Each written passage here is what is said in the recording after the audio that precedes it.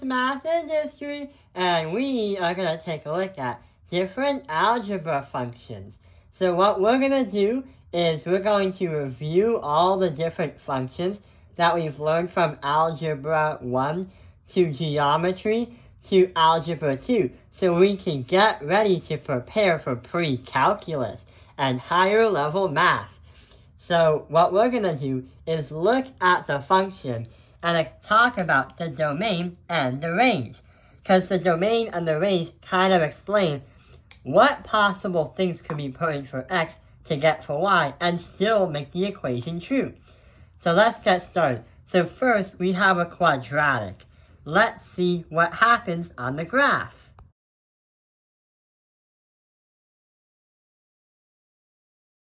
Okay, so looks like that quadratic has an x to the power of 2. And it will always have for its domain, it's going to infinitely go positive and infinitely go negative. So we say negative infinity to positive infinity. But our range, it starts at 0, then goes up to positive infinity. So a quadratic is going to be a parabola. Let's move on to another function that looks similar, which is absolute value. So let's take a look at this kind of function on the graph.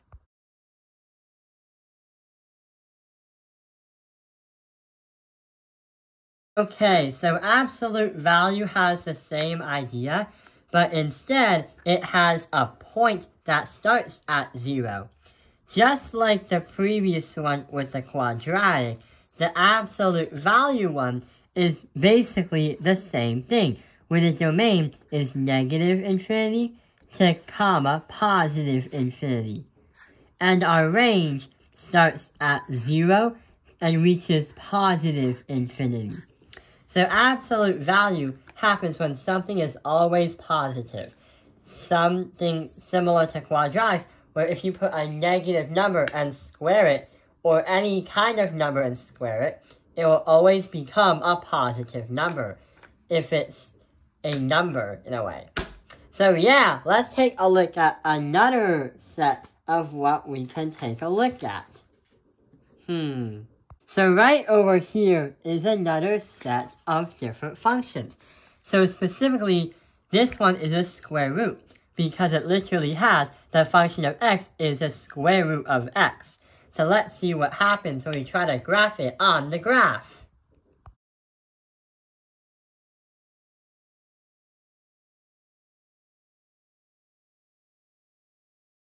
So for the square root function, we notice that it doesn't go negative when you put in something for x.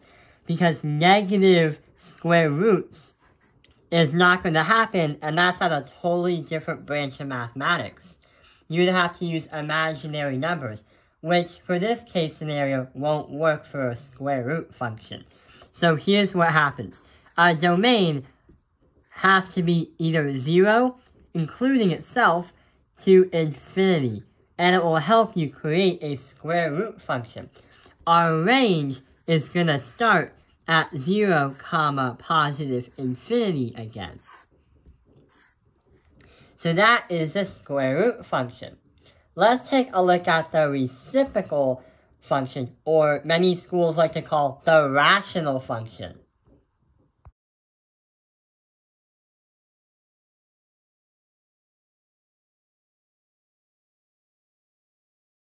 So the rational function is 1 divided by x, which would change everything. So rational functions in Algebra 2 are known to have holes, where things might be undefined. But on the graph we showed you, you notice that there's something going like this and going like that on the graph. That's because if you go at 0 in for y and 0 in for x, you'll notice that those lines will never, ever, ever, ever touch. So, for the domain and the range, unlike this one and the previous ones, we can't say 0 is included, so we have to do something. So we can say that domain is going to be zero, negative infinity to 0, but union to 0 to, neg to positive infinity. So that is how it's going to work. We can't say because you can have numbers as tiny as decimals below 1. So we can't say 1 and 1. But what about the range?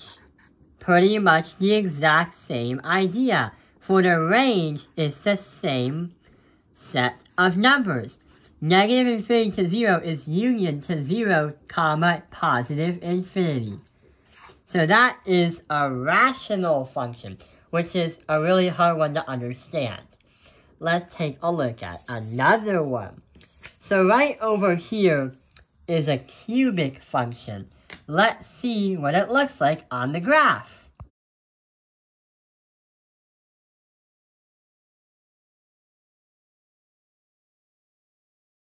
So for a cubic function, it is a very easy one to identify and understand. So our domain is negative infinity to positive infinity. That's because it's going from left infinitely and right infinitely. And our range is going to be negative infinity to positive infinity. Going up and down and vice versa which is similar to absolute value and the quadratic right here. But what about the cube root? We've been learning about the square root, but what about the cube root?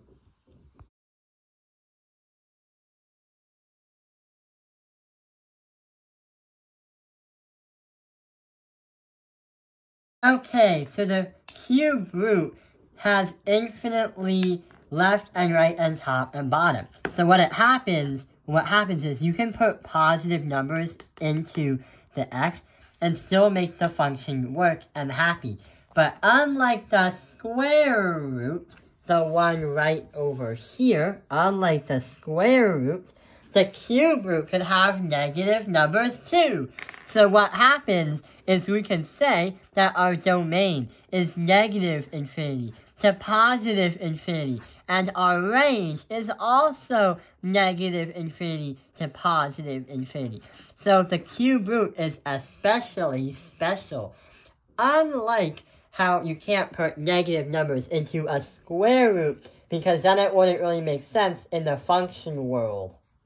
Let's take a look at two more functions. So here is a logarithmic function, where we have the f of x equals the log of x. Let's see what happens.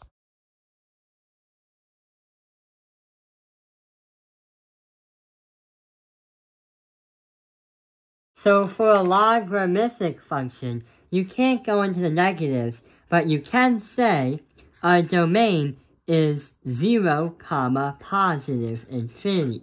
But we can also say our range is going to be negative infinity to positive infinity, and that is a logarithmic function. What about the exponential one? How is that going to look like?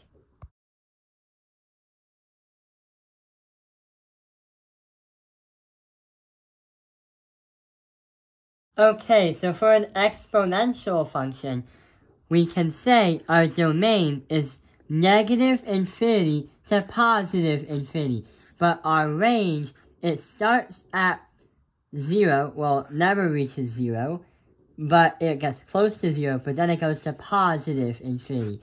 So that is an exponential function. And these are all the functions that we're supposed to look at when we get ready for some pre-calculus. I hope this video has helped you understand different algebra functions. Thank you for watching Taopin Airlines Math Industry like, and subscribe.